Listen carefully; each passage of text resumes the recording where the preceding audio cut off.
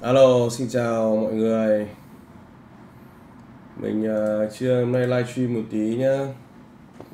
Vì có khá là nhiều những câu chuyện chúng ta nên chia sẻ với nhau. Hôm nay uh, có một cái thông tin rất là hay thế này. Hôm qua thì mình đã đưa lên fanpage của Vlog Minh Hải đấy.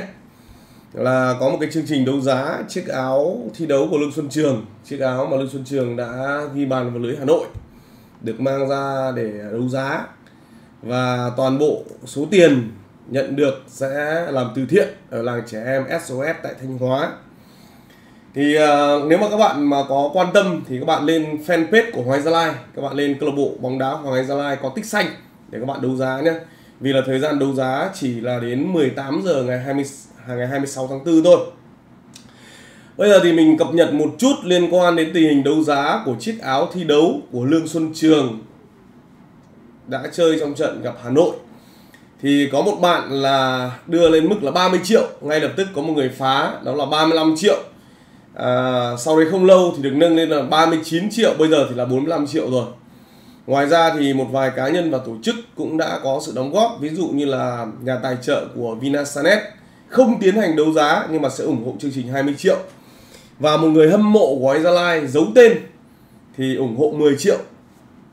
Đến bây giờ là chúng ta thấy là có 30 là 75 rồi. Bây giờ hiện nay là chúng ta tính gọn gọn là được 75 triệu từ Hoài Gia Lai, từ chiếc áo đấy rồi. Và nếu mà các bạn mà có yêu mến Lương Xuân Trường rồi muốn ủng hộ cho những cái um, hành động tuyệt vời thì chúng ta hãy hãy vào cái fanpage của Hoài Gia Lai để chúng ta tiến hành đấu giá. Ngoài ra thì ngày hôm nay chúng ta cũng sẽ cập nhật với nhau một vài cái thông tin. Hôm vừa rồi thì mình nghe thấy rất là nhiều người đặt câu hỏi với mình là tình hình của Phan Văn Đức như thế nào, rồi à, bạn ấy có rời sông Lam Nghệ An hay không, bạn ấy rời sông Lam Nghệ An thì bạn ấy về Hà Nội hay là bạn về Hoàng Anh Gia Lai. Thì thưa với các bạn là đến bây giờ là chưa có bất cứ một cái thông tin chính thức nào cả. Còn đương nhiên Phan Văn Đức là người mà được rất là nhiều các câu lạc bộ yêu mến. Và mình tin là trong năm tới thị trường chuyển nhượng mở cửa thì Phan Văn Đức sẽ lập kỷ lục và chắc chắn là mình tin là cái giá trị hợp đồng của Phan Văn Đức sẽ rất là lớn. Sang năm thì thị trường chuyển nhượng sẽ toàn là những cầu thủ hay. Quế Ngọc Hải này, Nguyễn Trọng Hoàng này, Nguyễn Quang Hải này, rồi Phan Văn Đức. Đấy, thì đến bây giờ thì mình mới nghe được là có hai, ba câu lạc bộ cũng đã ngỏ ý muốn có Phan Văn Đức, nhưng mà bạn ấy chưa đàm phán. Có thể gặp gỡ nói chuyện hay là gì đó, những cái câu chuyện, gọi là, bên lề thì thôi không tính. Nhưng mà nếu mà gọi là để làm việc trực tiếp thì đến bây giờ chúng ta chưa ghi nhận được trường hợp nào cả. Cho nên là cái vấn đề này mình xin nợ các bạn sang một cái dịp khác. Khi nào mà bắt đầu có những cái hoạt động đầu tiên thì mình sẽ báo cáo để tất cả chúng ta nắm được tình hình. Còn đương nhiên là thị trường chuyển nhượng thì sẽ rất là sôi động. Đấy, và mình nghe đâu đó là Nguyễn Quang Hải bây giờ cũng đã có một cái mức giá rất là lớn rồi và chắc chắn Quang Hải sẽ là kỷ lục của bóng đá Việt Nam.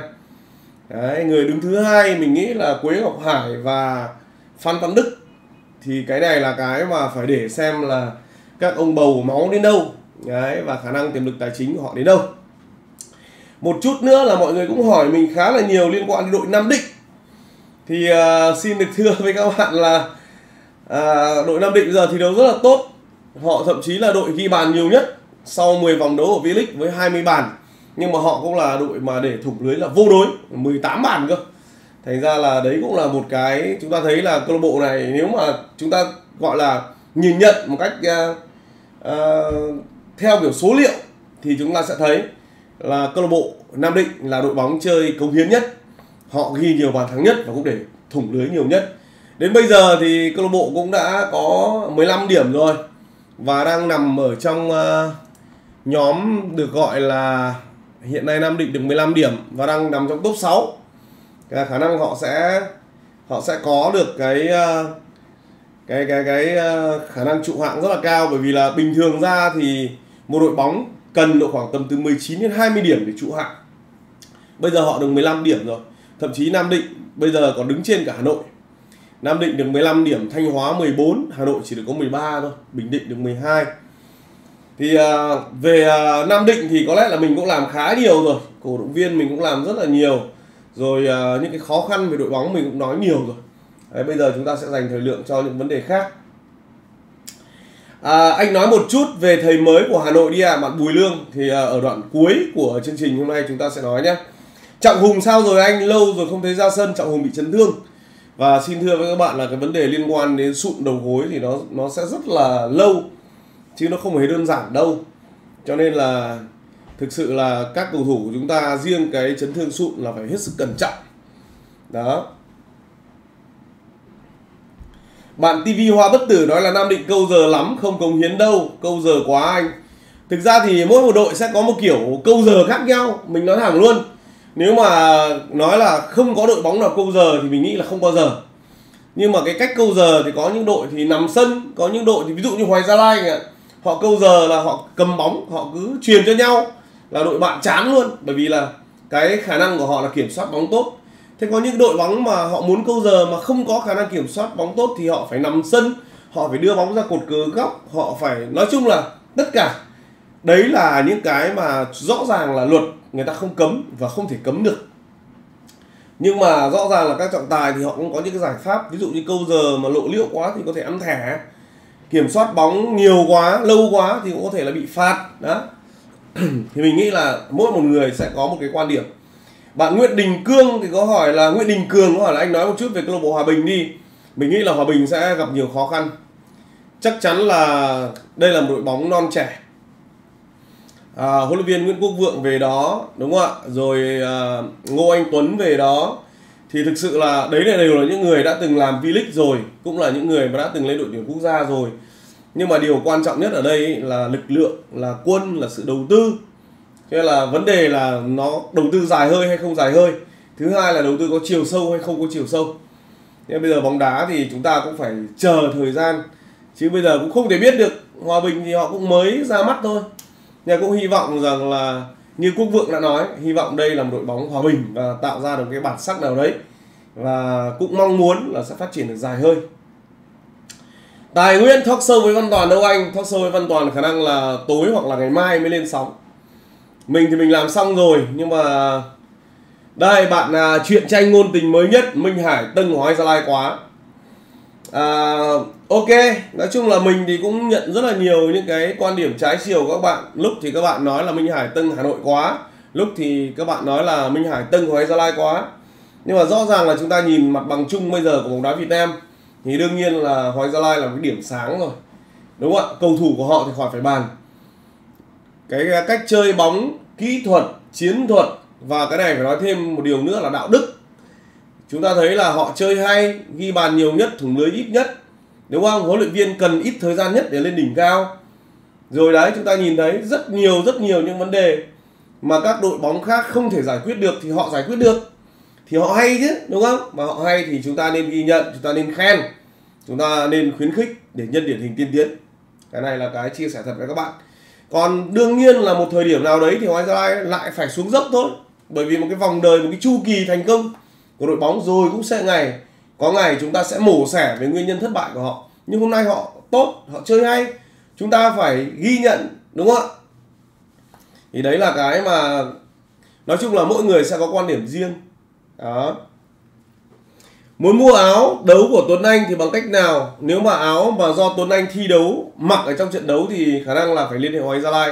Và các bạn phải chờ những cái đợt mà họ làm công tác thiện nguyện thì họ mới đấu giá. Còn nếu không thì chúng ta xin Tuấn Anh. Chứ còn uh, Minh Hải Sport thì có áo của Hoàng Gia Lai có in được tên của Tuấn Anh nhưng không phải là chiếc áo match one tức là không phải làm áo mà mặc ở trong trong trong trong uh, trận đấu. Xuân Nam về Bình Định Hải anh Hải ơi thì uh, bây giờ thì cũng có rất là, rất là nhiều những cái um, câu hỏi về liên quan đến thị trường chuyển nhượng. Tính đến bây giờ thì uh, chúng ta cũng sẽ chờ đợi nhưng mà chắc chắn là câu lạc bộ Thành phố Hồ Chí Minh họ sẽ thay cả ba ngoại binh. Câu lạc bộ uh, Sài Gòn cũng thay cả ba ngoại binh. Thì cái này chúng ta cũng phải chờ xem là tình hình nó thế nào đã. Đúng không? Anh có thể phỏng vấn riêng tiền đạo Brandao được không? Cái này thì hoàn toàn có thể nhưng mà phải chờ thời gian chứ không phải lúc nào muốn là được anh nhận xét về Đông Á Thanh Hóa gần đây đi ạ. Phải nói là Đông Á Thanh Hóa gần đây chơi cực kỳ hay. Cá nhân mình thì đánh giá rất là cao của họ. Không biết là các bạn thì nhìn nhận thế nào, nhưng mà mình nghĩ là huấn viên Petrovic là một huấn viên rất là giỏi. Và sau một khoảng thời gian cũng trục chặt nhiều, mình nghĩ là sau khi Samson bị treo giò đến hết cả mùa, mình nghĩ là câu lạc bộ Thanh Hóa sẽ gặp nhiều khó khăn. Nhưng mà trái lại, họ lại chơi bằng một tinh thần rất là khác. Đúng không ạ? Một loạt những cầu thủ như là uh, Ramos Kutai rồi Quốc Phương Đình Tùng Văn Thắng. Toàn là những cầu thủ mà chúng ta cũng đã thấy họ có những cái sự khởi đầu khó khăn ở mùa giải năm nay nhưng mà bây giờ thì họ đang chơi rất là tốt.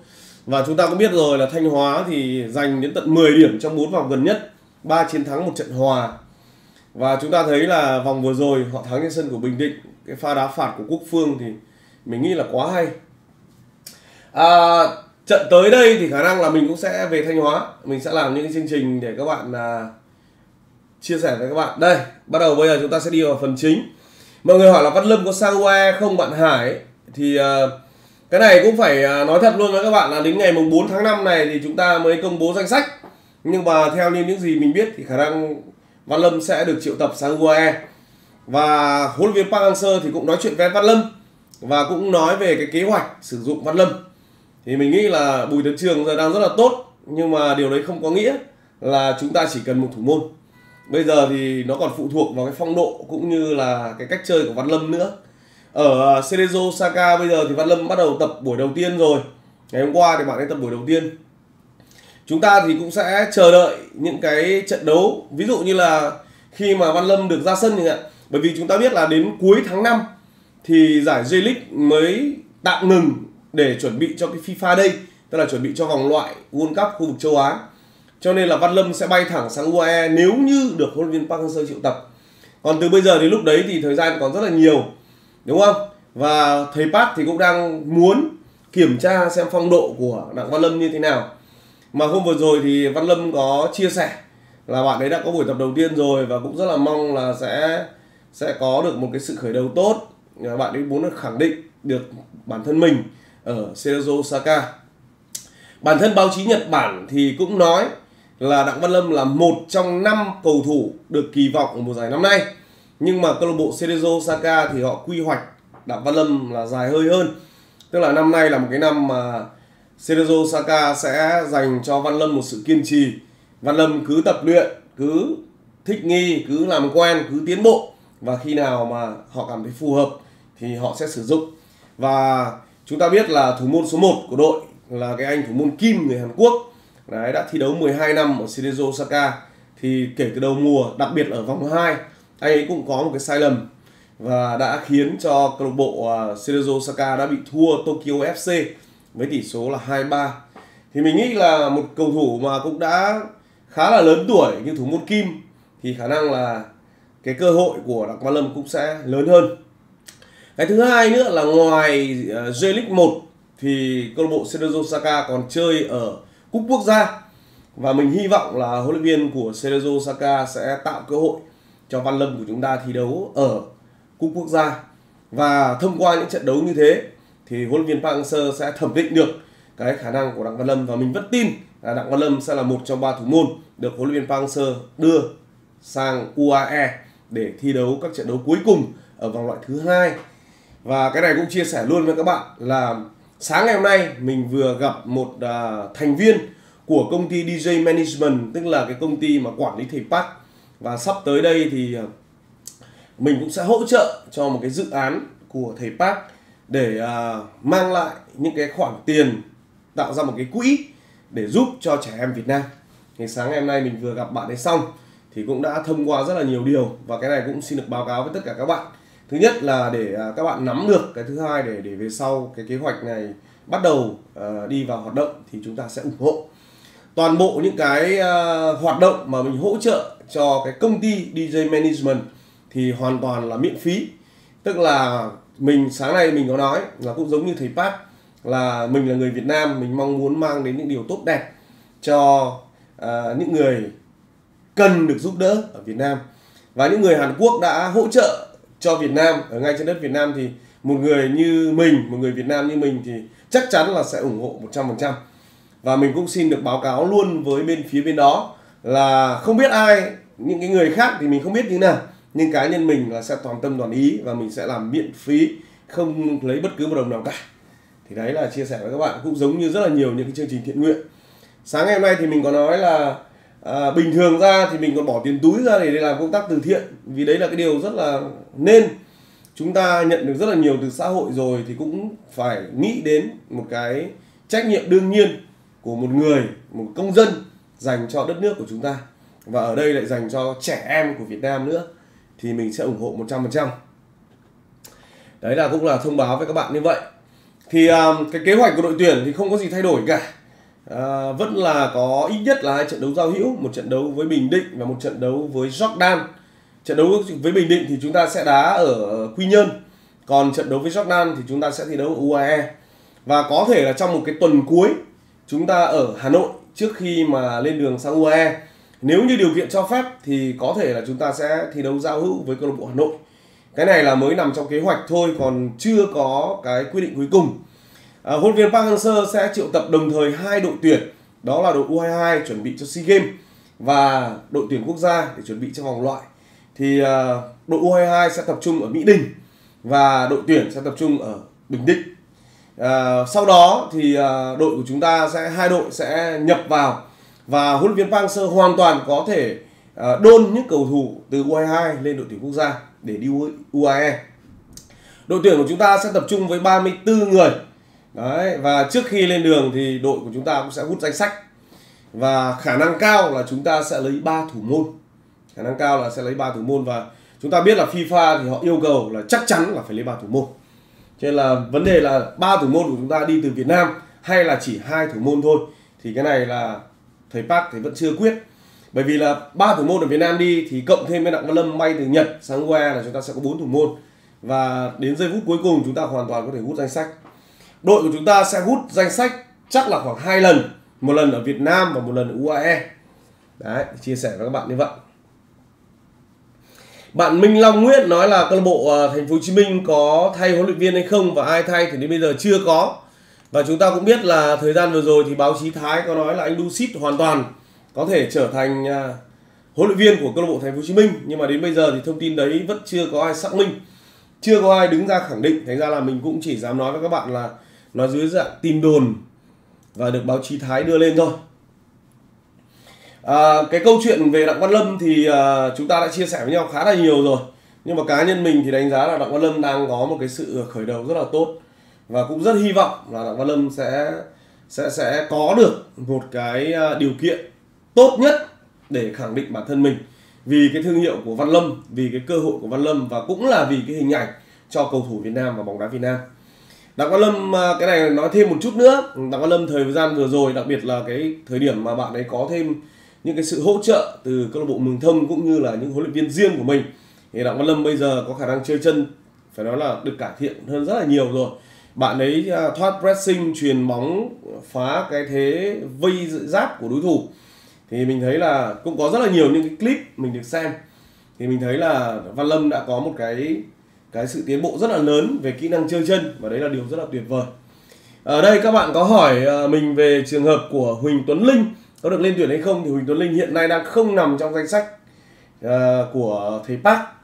Và mình nghĩ là thủ môn thì rất là khó để có thêm.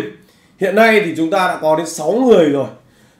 Chúng ta có Bùi Tấn Trường, chúng ta có Nguyễn Văn Toản, chúng ta có Nguyễn Văn Hoàng và chúng ta có Tuấn Mạnh, chúng ta có ai nữa? Chúng ta có Đặng Văn Lâm. À, có 5 người rồi. Thành ra là cũng khó. Chưa có Hữu Tuấn thì mình nghĩ là khả năng cao. Đến bây giờ thì chưa có bất cứ thông tin nào nhưng khả năng rất là cao. Bạn ngọn hải đăng xanh nó là anh nói về chiếc áo anh đang mặc đi. Thì chiếc áo này là chiếc áo của Camito các bạn nhìn thấy đây có logo Camito và mình in lá cờ Việt Nam vào thôi. Cái này có bán ở Minh Hải Sport. Các bạn inbox Minh Hải Sport. Mình để đường link ở phần mô tả cũng như ở phần comment hoặc các bạn gọi điện đến số 0856102030 thì các bạn sẽ được phục vụ.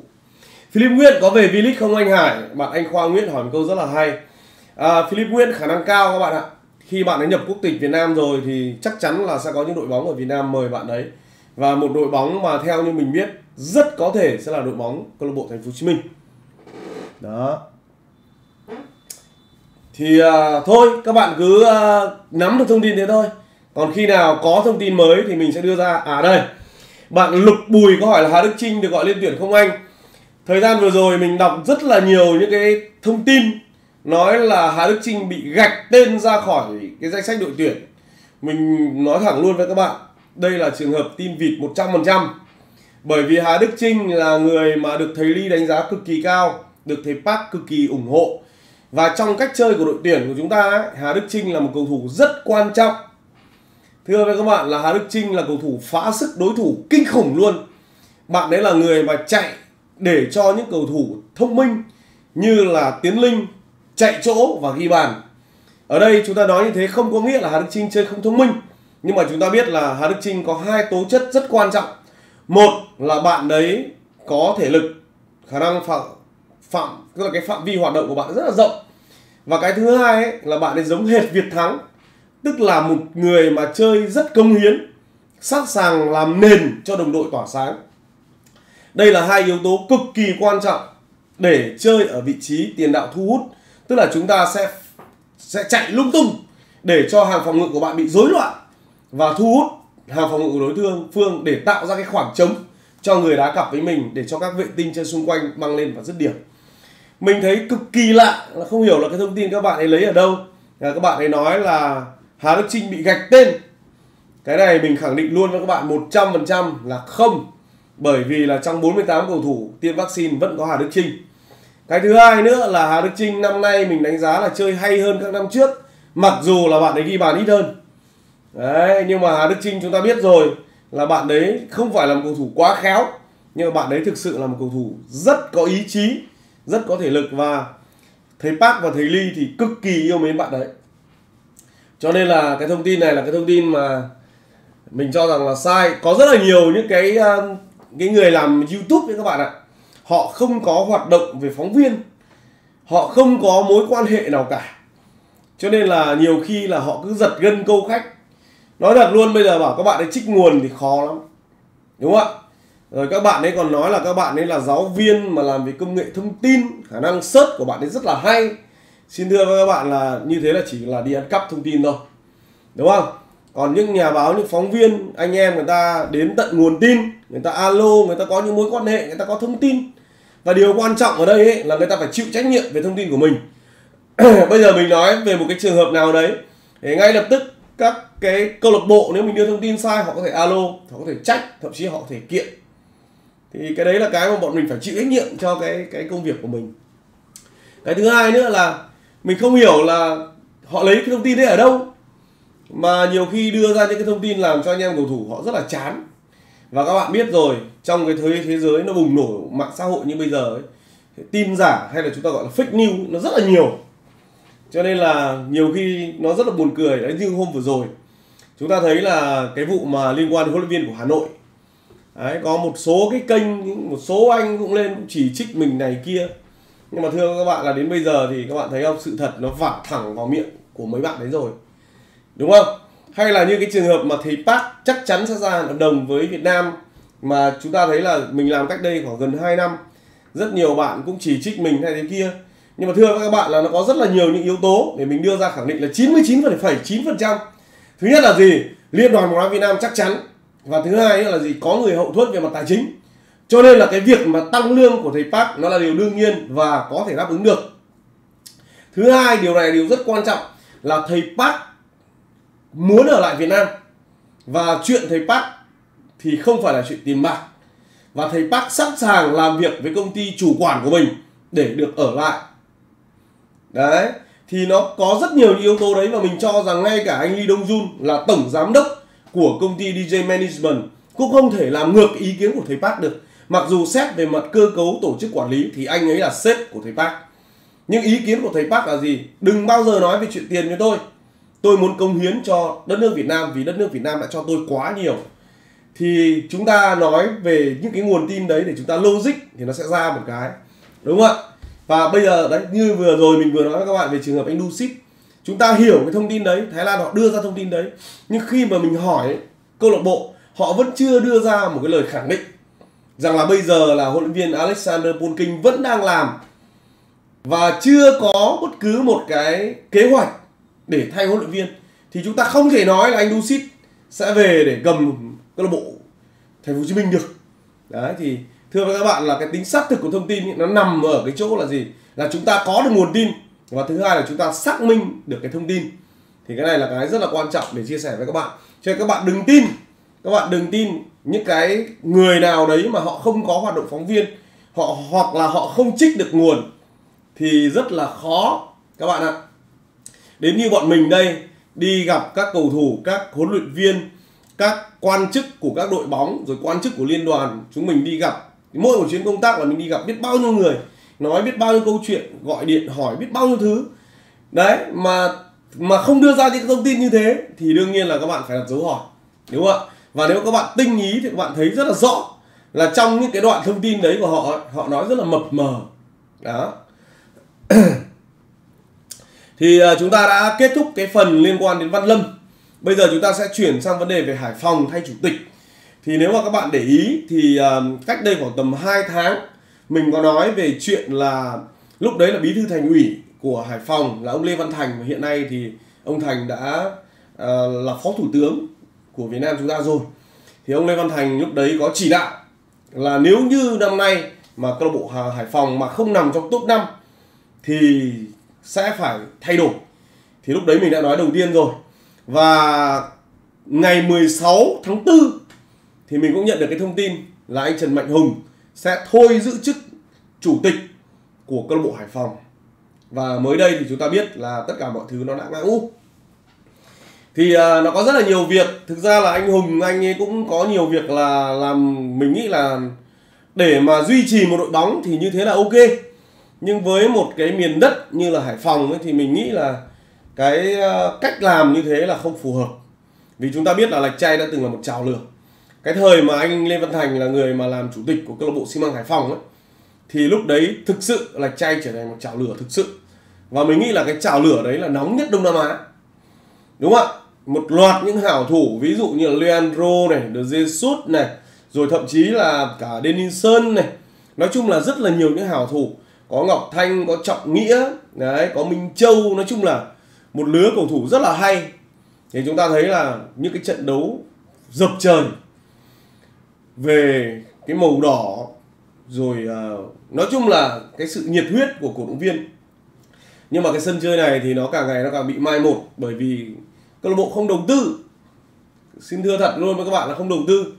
Đa số là những cầu thủ về với Hải Phòng là những người mà họ không tìm được những câu lạc bộ khác. Đấy, và về thì thường là ký đá để lấy lương thôi. Và họ ký ngắn, họ đá tốt cái là câu lạc bộ khác, mua là họ lại đi. Đấy, thì thưa với các bạn là như vậy, thành ra là nó không ổn lắm. Mình nghĩ là một mặt là cổ động viên họ cảm thấy không ổn. Cái thứ hai là những người còn khát khao với cái bầu không khí của là chay, họ cảm thấy xót xa. Cho nên là áp lực bây giờ thì uh, sẽ thay bằng một người khác. Mình nghe thấy là anh Hoàn anh anh Văn Trần Hoàn anh Trần Văn Hoàn đấy hay còn gọi là anh Hoàn Pháo thì sẽ là người lên thay. Đến bây giờ thì mình cũng chưa nhận được cái thông tin cụ thể nhưng mà mình tin là cần có một sự thay đổi. Mặc dù nói thật luôn với các bạn là mình cũng quen và mình cũng chơi với anh anh Trần Mạnh Hùng nhưng mà cá nhân mình cho rằng nên thay đổi. Và bên phía Hải Phòng thì cũng sẽ phải đưa ra một người một người mà đại diện cho câu lạc bộ bóng đá Hải Phòng, gọi là người đứng vốn tại công ty VPF bởi vì chúng ta biết là công ty VPF là công ty cổ phần. Mỗi một câu lạc bộ thì sẽ có một ít, gọi là mỗi một câu lạc bộ là một cổ đông. Cho nên bây giờ mà anh Hùng, anh nghỉ rồi thì phải có người thay. Người đấy sẽ là người đại diện vốn cho câu lạc bộ Hải Phòng và sẽ phải sẽ phải à, đưa lên VPF để người ta bình bầu. Đấy mình thì mình rất là mong là câu lạc bộ Hải Phòng sẽ có một sự đầu tư. Và xin thưa với các bạn là phải có tiền và phải mua những cầu thủ giỏi về thì mới hâm nóng được cái chảo lửa gạch chay. Và một điều nữa, cái này là cái mà mình rất là mong, đấy là Hải Phòng nên đào tạo trẻ. Bởi vì là chúng ta biết là công tác đào tạo trẻ của Hải Phòng bây giờ rất là tệ. Đấy, chúng ta thấy là có cầu thủ trẻ nào mà lên được đâu, đúng không? Như là trường hợp của Nguyễn Văn Toản thì chúng ta thấy là đấy là trường hợp hiếm hoi và bạn đấy thậm chí là đã nghỉ rồi, đi làm nhôm kính rồi trước khi quay trở lại. Thì cái này là cái ờ, mình cảm thấy rất là đáng tiếc cho một nơi rất yêu bóng đá, một nơi đã từng là một chảo lửa nóng hàng đầu Việt Nam. Và là một nơi rất là có tiền, giàu đấy chứ, đúng không? Hải Phòng, Quảng Ninh là những nơi rất là giàu. Và mình cho rằng là nếu họ làm tốt như Hoàng Gia Lai, đá tốt phát là rất nhiều nguồn tài trợ, quảng cáo rất là nhiều. Thì cái đấy là cũng mong chia sẻ với các bạn như vậy và mình nghĩ là cái này mình cũng mong đấy. Là nếu mà anh Văn Trần Hoàn mà anh ấy lên anh ấy làm chủ tịch của câu lạc bộ Hải Phòng thì mình cũng mong là là không còn tình trạng đốt pháo sáng nữa. Thì đấy là cái điều mà mình rất là mong. Câu chuyện thứ ba hôm nay mình kể với các bạn. Đấy là câu chuyện liên quan đến uh, huấn luyện viên Park Hà Nội gặp Bầu Hiển để uh, có sự bàn bạc. Mình nghĩ là tới đây thì khả năng à, uh, cơ bộ Hải Phòng sẽ được uh, Hàn Quốc hóa. Cái này nó sẽ rất là cao. Bởi vì là ông uh, ông ông ông ông Park Hà Nội này sẽ cần rất là nhiều các chuyên gia. Có thể là có bác sĩ hoặc là chuyên gia dinh dưỡng uh, có thể là huấn luyện viên phó. Và cái cách mà phát triển cách mà phát triển bóng đá hiện nay thì xin thưa với các bạn là nó sẽ rất là nó sẽ rất là kỳ công bởi vì câu lạc bộ Hà Nội hiện nay họ đang có rất là nhiều bài toán. Bài toán đầu tiên là phải giữ nhân lực. Nguyễn Quang Hải có ở lại hay không? Đấy là một câu chuyện. Thứ hai nữa là phát triển nguồn lực. Bây giờ là câu lạc bộ Hà Nội, cái công tác đào tạo trẻ là đang bị hững mình nghĩ là sẽ phải hững cỡ khoảng tầm 5 6 năm. Đấy. Cái thứ ba nữa là cái mô hình phát triển câu lạc bộ là đã chuẩn chưa? Đấy. Cái thứ tư là liên quan đến cơ sở hạ tầng, sân tập, phòng gym, nhân lực trong lĩnh vực đào tạo có ổn hay không. Thì đấy là cái mà câu lạc bộ Hà Nội còn rất là nhiều lý do, rất là nhiều những cái công việc phải làm. Và một việc mà mình nghĩ là huấn luyện viên Park Hà Nội phải làm ngay, đấy là củng cố cái niềm tin. Bởi vì nếu năm nay mà câu lạc bộ Hà Nội thi đấu không tốt thì mình nghĩ là sẽ rất là khó để có một cái kế hoạch lâu dài. Đấy là chia sẻ rất là thật với các bạn là như vậy. Hà Nội nhiều việc và ngày hôm nay thì mình có nhận được một cái à, ảnh rất là đẹp của câu lạc bộ Hà Nội. Đấy là hình ảnh mà ông Park Hà Nội ôm tất cả các cầu thủ, họ rất là đoàn kết với nhau. Hiện nay thì à, xin thưa với các bạn là các huấn luyện viên nội của chúng ta cũng có một vài người đang à, không có công việc. Ví dụ như là huấn luyện viên Phan Thanh Hùng, ví dụ như là huấn luyện viên Phạm Minh Đức. Nếu như huấn luyện viên Phan Thanh Hùng mà về câu lạc bộ Thành phố Hồ Chí Minh thì sao? Mình nghĩ là cũng vẫn ổn chứ sao? Chả vấn đề gì cả bạn uh, Đức Ai Nguyên Vũ hỏi là Samson sao rồi anh? Samson thì chắc chắn là sẽ ở lại câu lạc bộ Thanh Hóa. Và theo thông tin mình nhận được thì câu lạc bộ Thanh Hóa sẽ không phóng thích cho Samson. Bạn ấy sẽ tập ở đội trẻ của câu lạc bộ Thanh Hóa cho đến khi hết hợp đồng thì thôi À đây các bạn à, Luân Nguyễn Đức nói là tại sao Hoàng Gia Lai lại được yêu thích hơn Hà Nội. À, đây cũng là một lời đề nghị của một bạn yêu cầu đề nghị mình phân tích là tại sao câu lạc bộ Hà Nội lại bị nhiều người ghét. Thì ờ, cái này mình xin là sẽ để một cái chương trình riêng. Mình sẽ phân tích ờ, tại sao lại như vậy. Thực ra nó có rất là nhiều thông tin, kể cả chủ quan lẫn khách quan. Thì cái này nó, chúng ta cần một cái buổi riêng chứ ờ, không thể nói theo kiểu trả lời câu hỏi ngắn được. Mình chắc chắn là mình sẽ phân tích cái này cho các bạn và chúng ta cũng sẽ rất là thẳng thắn với nhau thôi nói về kinh tế về Hà Nội đi Anh. À, bạn Phước Sơn Hữu có hỏi là huấn luyện viên Phan Thanh Hùng nghe bị bệnh tim mà về thành phố chiến Chí cái này nói thẳng luôn là anh Phan Thanh Hùng chả bị bệnh gì cả. Chẳng qua là ở à, Bình Dương anh ấy không được làm những điều anh ấy muốn. Rồi có những người hạn chế quyền lực của anh ấy. Rồi có những người nói những điều không tốt ở đằng sau lưng anh ấy. Anh ấy chán anh nghỉ thôi. Chứ anh Hùng không có vấn đề gì về sức khỏe cả. Đấy các bạn ạ. à các bạn có biết là tại sao anh Hùng lại bị bị nói là bị bệnh tim không? Bị bệnh tim mà chúng ta hiểu theo nghĩa là bị tâm bệnh. Tâm bệnh tức là gì? Là bệnh là bệnh trong tâm. Bệnh này là bệnh trong tâm chứ không phải là bệnh tim. Bệnh này không phải bệnh của quả tim, mà bệnh này là bệnh ở trong tim, là những cái chất chứa ở trong tim này này. Đấy. Đúng không ạ? Đây, bạn sơn tăng, anh có đi UAE hay không? Khả năng cao là mình không đi được. Đến bây giờ khả năng cao. Mình thì à, cũng hy vọng là mọi thứ nó sẽ ổn nhưng mà thực sự là khó. Có rất là nhiều vấn đề.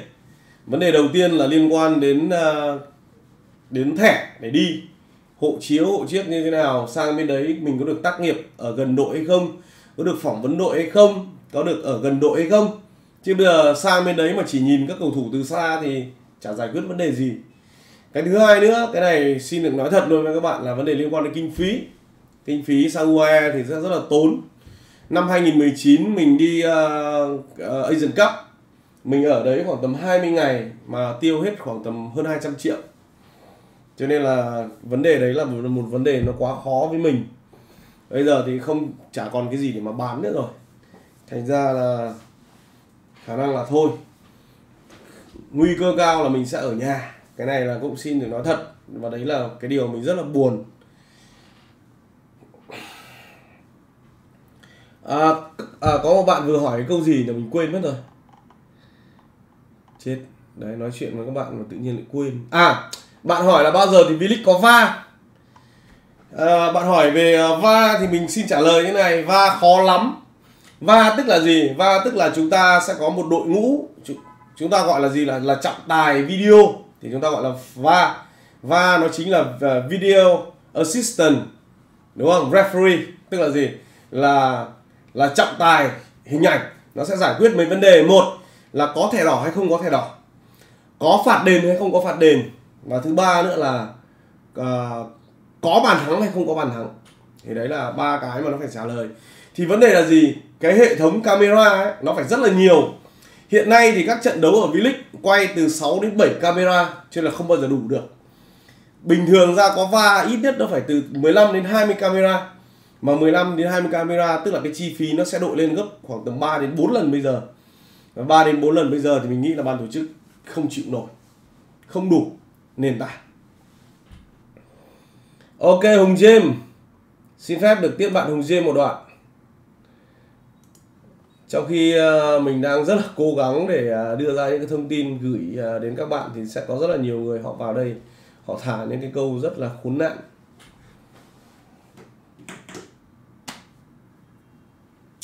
Ok.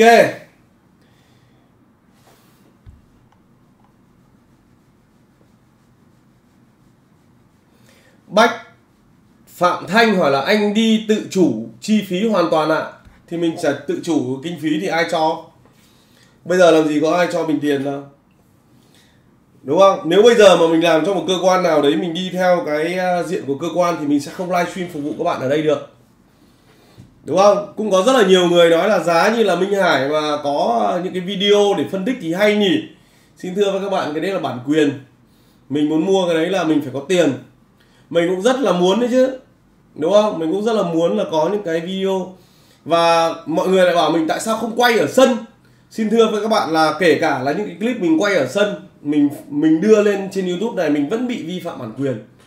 Cho nên là đây là vấn đề khó đến khi nào đấy mà có một mạnh thường quân tài trợ cho mình cái gói đấy, tức là mua cái gói đấy để cho mình dùng thì mình mình làm luôn.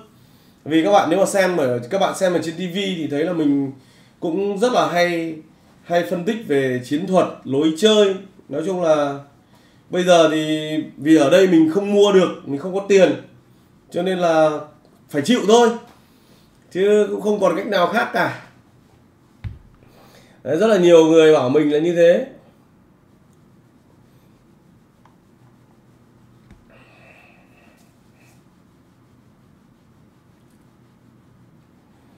Cho nên là nói thật luôn với các bạn làm cái này khó lắm.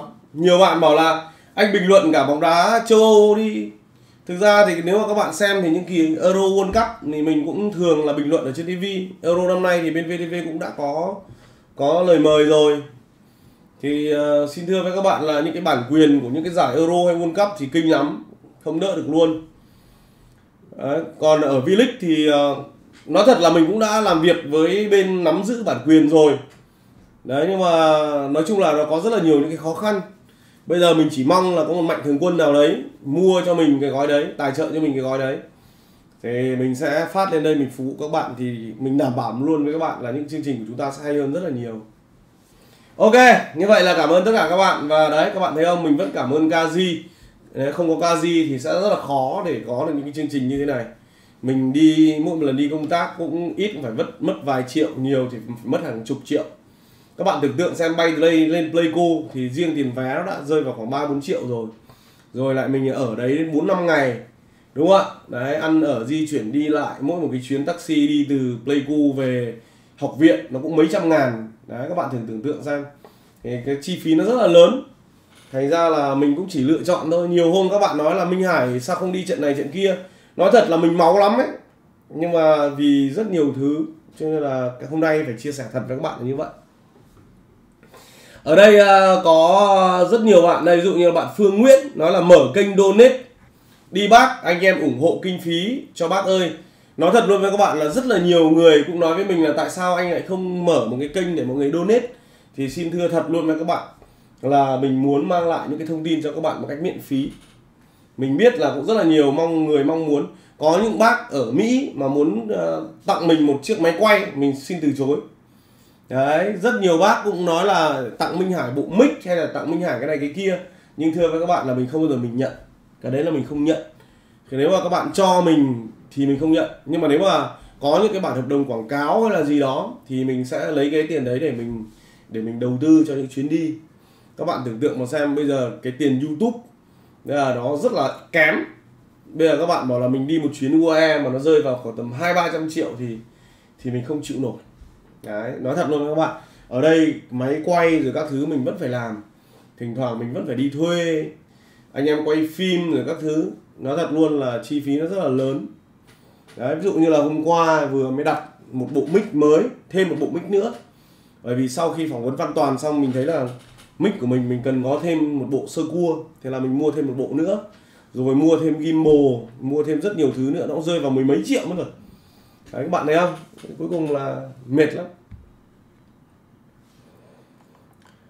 Ok vậy nha các bạn nhá. Xin được chào tất cả các bạn. À, cảm ơn Kazi đã ủng hộ vlog Minh Hải à. Kazi ở số 11 Nguyễn Thượng Hiền, quận Hai Bà Trưng, Hà Nội. Và ờ, website là www.kazi.com.vn mình rất là mong các bạn sẽ ủng hộ cho Kazi, bởi vì là nếu mà Kazi mà có kinh doanh được thì bạn ấy mới tiếp tục hỗ trợ. Vì nói thật luôn là xin được thưa với các bạn là chắc là vì một vấn đề gì đó cho nên là có rất là nhiều những cái khó khăn. Và Minh Hải thì khả năng là cũng sẽ phải ờ, tự tự chiến đấu. Ok. Xin được chào tất cả các bạn và hẹn gặp lại các bạn ở những chương trình tiếp theo. Tối ngày hôm nay thì Hoài Gia Lai sẽ đá và mình hy vọng là sẽ có cái bài liên quan đến văn toàn. Một là hôm nay, hai là ngày mai sẽ gửi đến các bạn. Một lần nữa thì chào tất cả các bạn nhé. Hẹn gặp lại ở những chương trình tiếp theo. Và nhớ các bạn hãy bấm vào subscribe và bấm đăng ký, ấn chuông và chọn tất cả. Xin cảm ơn và hẹn gặp lại.